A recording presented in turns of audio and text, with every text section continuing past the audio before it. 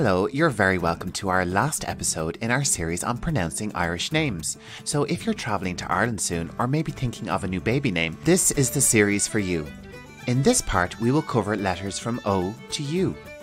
But before we begin, make sure to subscribe to our YouTube channel and hit the bell to get an instant notification direct to your inbox every time we post a new English lesson. Are you ready to begin? Our first letter is O and our first name is a female name Orla. Orla. One more time. Orla. Next up, we have another female name Una. Una. One more time. Una. Let's have a look at a male name Oisín.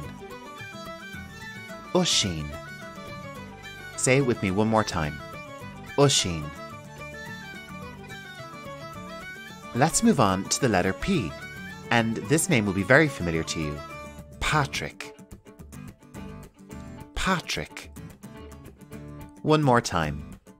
Patrick. I'm sure you've heard of St. Patrick's Day, Ireland's national holiday, which is celebrated throughout the world. The Irish language version of Patrick is Pádraig. Pádraig. One more time. Pádraig.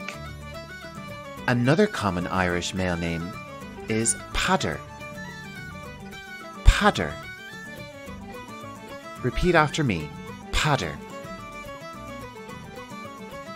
And this is the Irish version of Peter.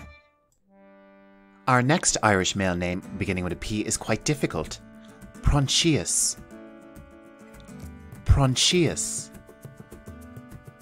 Let's do it one more time. Proinsias. Let's move on to the letter R. Roisin. Roisin. Let's say this female name one more time. Roisin. And here we have Rory. Rory. Let's say it one more time. Rory.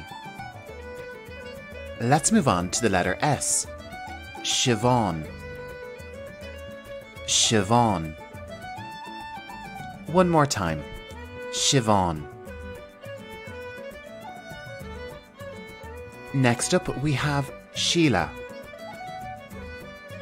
Sheila. One more time. Sheila.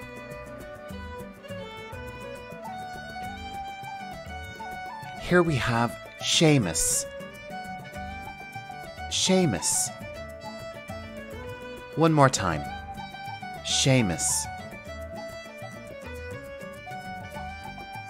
Our next name is Saoirse. Saoirse. Say it after me one more time. Saoirse. Our next name is Sinead.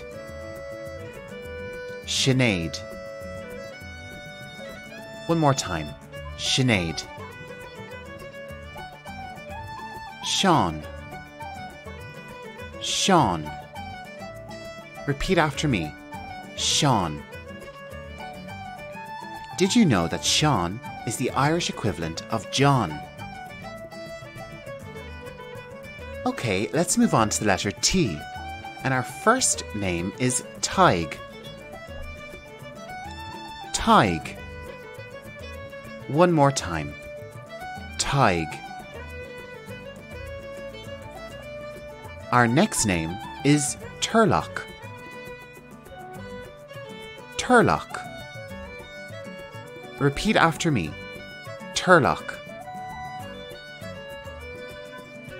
Our next name is Tomas.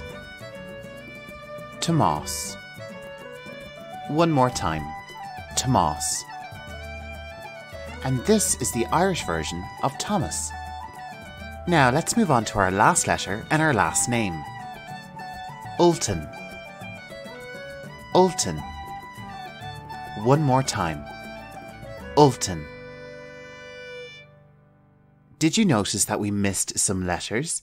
The Irish alphabet does not contain the letters Q, V, W, X, Y, and Z. In fact, the Irish alphabet only has 18 letters.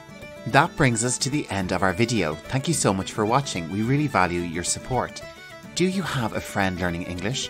Why not share this video with them and tell them about Learning English Pro? Before you go, please like this video. And if you have a suggestion or a question, why not leave a comment below? We love to hear from you and we read all your comments. And why not check out our social media on YouTube, Tumblr, Instagram, and Facebook? Follow us today and remember, keep learning English like a pro.